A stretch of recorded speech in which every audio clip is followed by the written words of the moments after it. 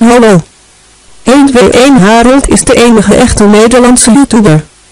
Die ook nog gehandicapt is.